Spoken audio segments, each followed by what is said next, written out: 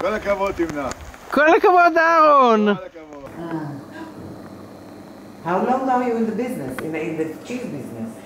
Uh, we made the first cheese uh, in uh, 2003 I saw on- in the yeah, internet. yeah. But you, you're keeping traditions of uh, since the 14th century. It was written that way. I don't know.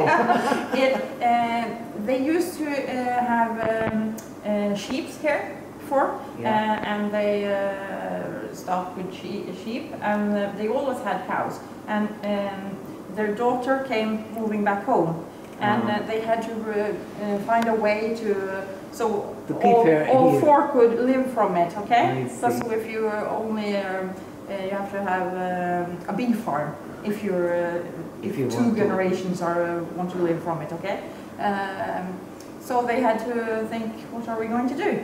So they uh, thought maybe we should start to make cheese.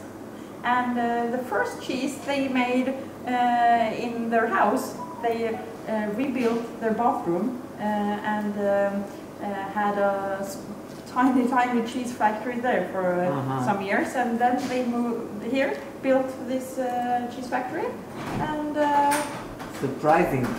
Yeah. They- And the rest is history. To be honest, it's surprising. It's sur- You see the water in Yes. the in the Yes. walls? Yes. yes. It's called myse. okay. Uh, and they make the brown cheese from that. oh, really? Yeah, it's uh, when you make cheese, uh, when we make the cheese, we uh, put the milk um, in the water yesterday, and through the night it gets uh, pasteurized. And uh, when we come in the morning, we add uh, blue or white mold